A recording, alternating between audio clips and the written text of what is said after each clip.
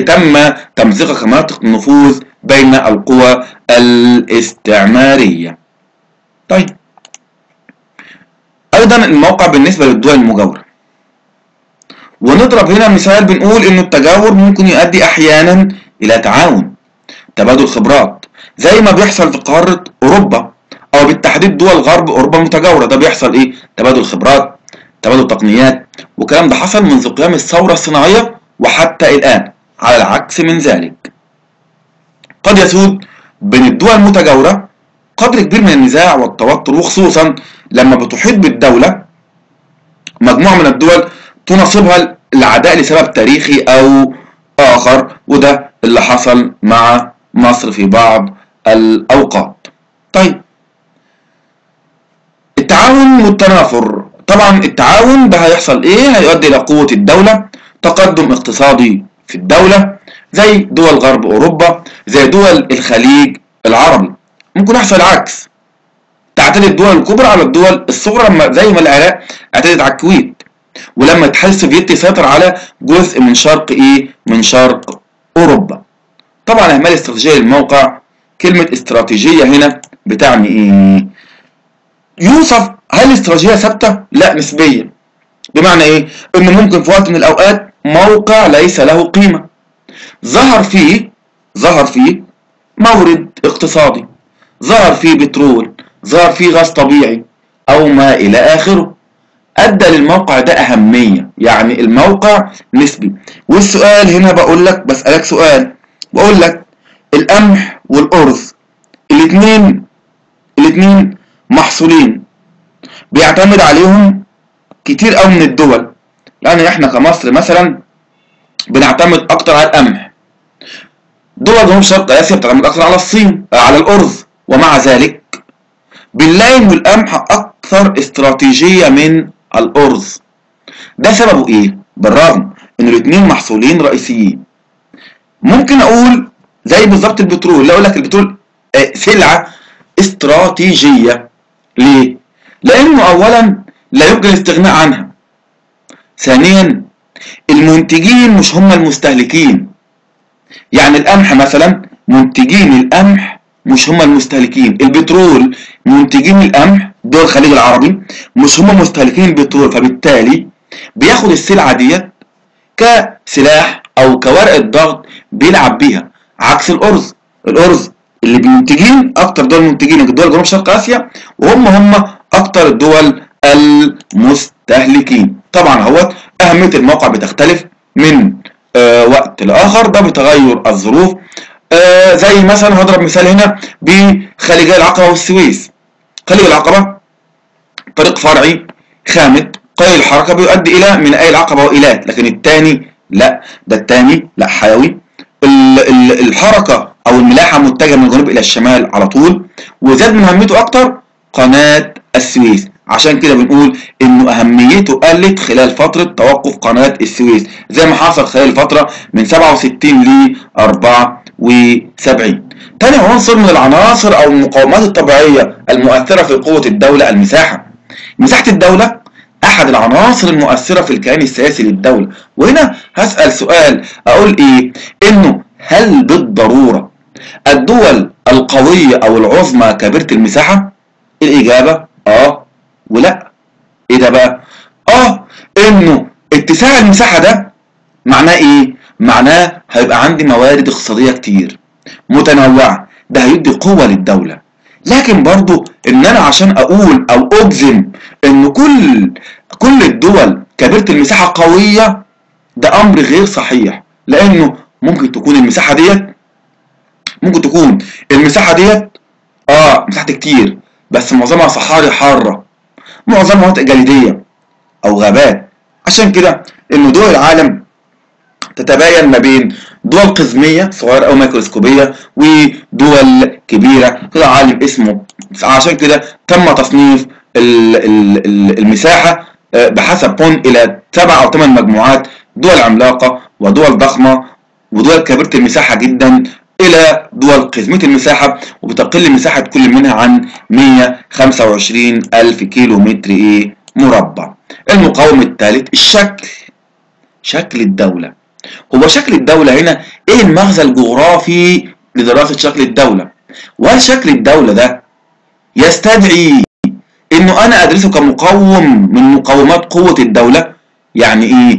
يعني ممكن يكون شكل الدولة ده نقطة قوتها؟ وهل ممكن يكون شكل الدولة برضو نقطة ضعفها؟ تعالوا نشوف إيه الإجابة. بنقول إنه في شكل الدولة ده أنا ممكن أميز ما بين عدة أشكال. أهمها الشكل الدائري وده أنسب الأشكال الهندسية اللي هتتخذها أرض دولة لعدة أسباب. يبقى أنا ممكن أسألك سؤال أقول لك بما تفسر يعتبر الشكل الدائري أنسب الأشكال الهندسية لقوة الدولة. ده مش جاي من فراغ عده أسباب. أولها إن الدايرة لها نص قطر. ده يتيح لحدود الدولة أن تكون على أبعاد متساوية من المركز الهندسي. ويا حبذا هنا لو كانت العاصمة أيضا مثالية. يعني إيه مثالية؟ طبعا اتكلمنا في العاصمة وموقعها وليه تم اختيار مواقع العواصم؟ التاني سبب أو تاني سبب إن الشكل الدائري مناسب ده يعني سهل قوي تقدر تسيطر على أجزاء الدولة أو تقدر تحمي الدولة والدفاع عن حدودها في أي وقت. ده يعمل لك إيه؟ وكمان هيعمل عمق دفاعي ممكن تنسحب إليه عند الضرورة. طبعا والميزة برضو التالتة وخصوصا في ظل إن السطح مستوي مش مفهوش تدرس يعني مفهوش مرتفعات ومنخفضات ده يعمل معاك إيه؟ هيخليك تشق شبكة جيدة من الطرق. وطبعا في مقولة جغرافية بتقول أينما وجدت الطرق وجد العمران وجد السكان. وبالتالي وده كمان شق الطرق هيوفر أو هيمكن الحكومة من السيطرة هتكون سهلة السيادة هتكون سهلة على كل أجزاء الدولة. طيب في الشكل المربع لا يقل في الأهمية عن الشكل الدائري. ده يمثل أقرب الأشكال الهندسية إيه للدايرة طبعا ده إنه له مركز برضه يمكن أن تحتله العاصمة. ما بتبتعدش الأطراف كتير عن عن عن عن عن, عن العاصمة. طبعا في حاجات كتير أو دول كتير واخدة الشكل الدائري زي بولندا والمجر وفرنسا وبلجيكا. تاني شكل الشكل المستطيل اللي هو الطولي. طبعا ده بنقول إنه ده بيمثل نقطة ضعف للدولة وخصوصا لو كانت الاستطالة شديدة زي تشيلي. تمتد من الشمال إلى الجنوب لمسافة حوالي 4000 ميل لكن عرضها لا يتجاوز 100 ميل. ده كده اهيت تشيلي اهيت ده الشكل بتاع تشيلي. شكل طولي. وده شكل ل آه، ليه الشكل أو ليه الدول المستطيلة ليه الدول المستطيلة بنقول نقطة ضعف؟ ليه؟ اولا من خلال ال- الشكل المستطيل ده مش هنقدر نعمل سيك هيغطي كل الدولة. تعتمد على الملاحة البحرية. طب لو دولة بقى ملهاش منفذ بحري. طيب الحاجة التانية الحاجة التانية بتكون الدو طبعا أطراف الدولة طبعا هو شكل طولي فبيكون أطراف الدولة بعيدة عن مقر العاصمة أو كده. فبتعمل إيه؟ هيكون في صعوبة في السيطرة على الأطراف الهامشية.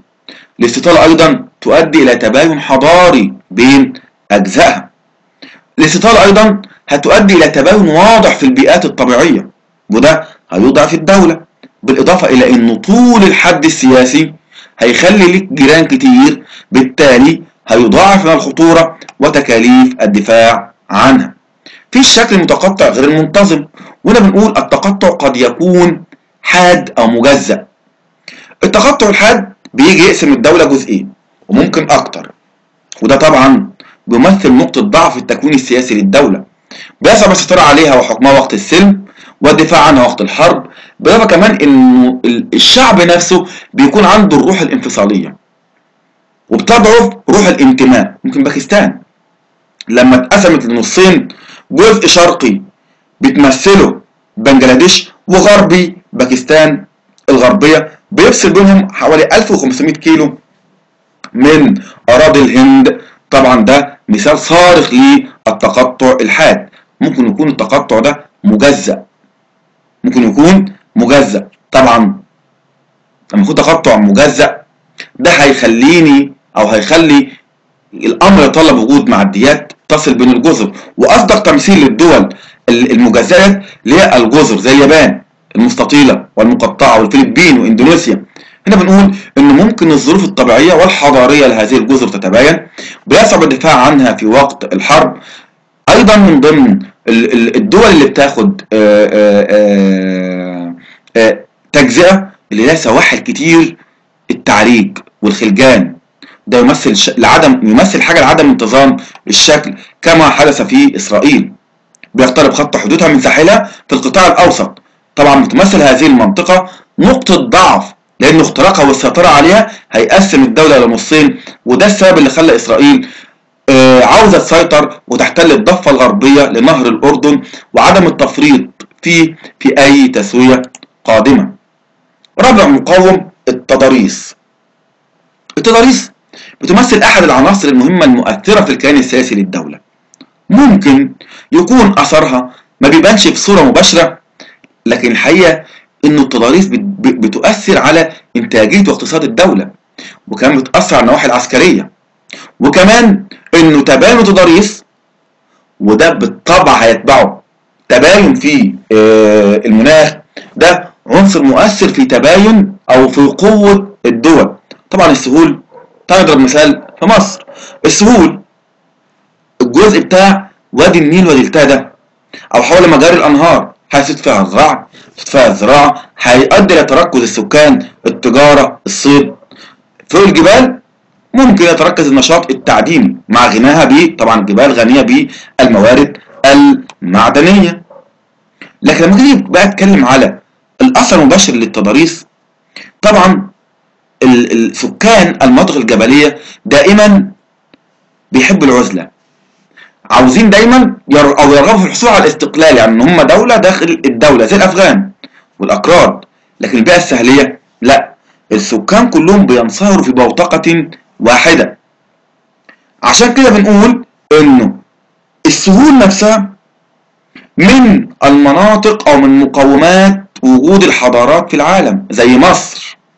الحضارات القديمة كلها نشأت في المناطق الساحلية زي العراق لكن المناطق الجبلية المتضرسة أو المرتفعة ظلت في مناطق عزلة طبعا تضاريس ليها دور كبير في الأحوال الداخلية وتأثيرها على الوحدة الوطنية للدولة ليه؟ لو في سلاسل جبلية ممتدة السلاسل ديت هتعوق الاتصال ما بين العاصمة وما بين مناطق الأطراف ده يؤدي إلى إيه؟ هيترتب عليه إضعاف التماسك السياسي ما بين أجزاء الدولة. طيب ممكن الدولة تمتلك مساحات كبيرة من السهول لكن قيمتها الاقتصاد سهلية أهي لكن قيمتها الاقتصادية وأهميتها متدنية يا إما بسبب إنه الظروف المناخية قاسية أو غير مناسبة ده طبعا هيكون عائق ليه للأنشطة الاقتصادية من زراعة وطرق ومن زراعة وطرق وغيره. كمان من الناحية العسكرية يسهل اختراقها واحتلال أراضيها بسهولة وبسهولة ويسر. طبعا تقدر تلعب دور كبير قوي في الناحية العسكرية وفي الحروب بالتحديد. طبعا بتحدد اللي بتحدد أو بتوجه سير العمليات العسكرية. تحديد نمط السلاح المطلوب استخدامه. تحديد مسار خطوط الإمداد والنقل وده زي ما حصل في حرب 73 لما أتكلم عن التضاريس ما ينفعش أتكلم عن التضاريس من غير ما أتكلم على خط الساحل. وخط الساحل أحد عناصر السطح التفصيلية. ده مهم جدا. طبعا اتكلمنا عن خط الساحل ده. في علاقة الدولة بالواجهة البحرية. وخط الساحل ده مستقيم. ممكن يكون كثير التعريج والتجاويف بنقول إنه زي ما اتكلمنا عن البحر المتوسط إنه كثرة التعريج ده هيؤدي إلى قيام الموانئ. تؤدي إلى امتداد وتأثير المناخ البحري إلى مسافات أبعد نحو الداخل. طيب من ضمن أيضا العوامل المؤثرة في التضاريس أو جزء من التضاريس الأنهار.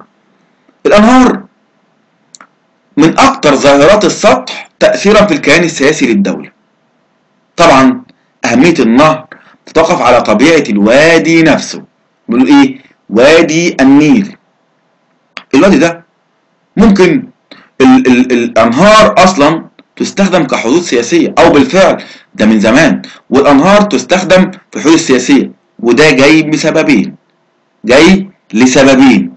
يبقى لماذا تستخدم الأنهار في الحدود السياسية اولا الأنهار سهل التمييز من ناحية. اتنين الأنهار النهر والسهل الفيضي ليه؟ ده منطقة أو بتكثر فيها المستنقعات من ناحية أخرى. الأنهار قامت بدور كبير قوي بدور الوصل وأيضا بدور الفصل.